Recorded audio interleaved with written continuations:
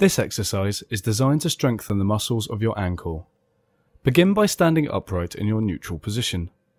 Raise your arms directly to the sides level with your shoulders. Now carefully raise one foot off the floor, keeping your other leg straight, and balance on your supporting foot.